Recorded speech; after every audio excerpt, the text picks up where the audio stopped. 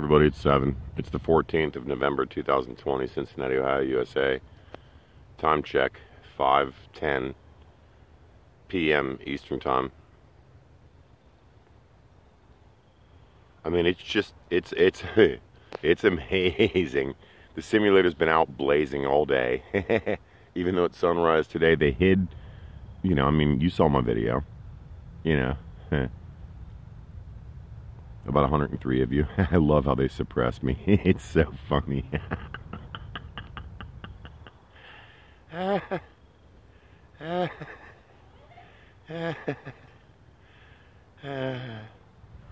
and there's always this black wall, the black ring, the black booty ring that just always wraps the horizon. You know, the simulator just went down. It's tremendous back there, but what's all this?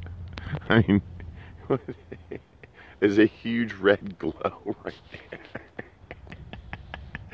there. oh man, this is my mood forever. I mean, I just saw something flash past. Uh, this is all just insane. I mean, what's that straight up in the sky? Just starting out of nowhere. Look at the light rays. It's so funny too, something in the 5G and the cell phone tower waves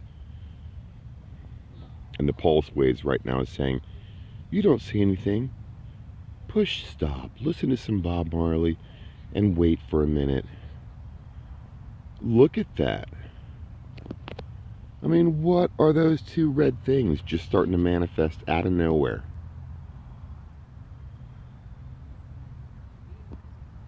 I'm telling you guys, I honestly wonder if red and all this iron oxide stuff actually isn't a big smokescreen for the blue. What what are those two? What the? I mean, look at this. What's that grouping of stuff right there? Uh, uh, it's so funny too. I've been yawning for the last two days. You know, I mean, obviously they're like nuking the world with lithium. Look, look at all this. I mean, it, it truly is galactic.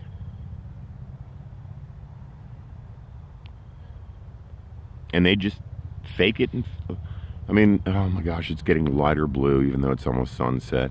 uh, and that right down there, they really don't want us to see that right there. So it's encased between a bunch of reflective clouds with a nice blue fake backdrop to it, and we can't see it. I mean, look at this. What is that stuff up there? What?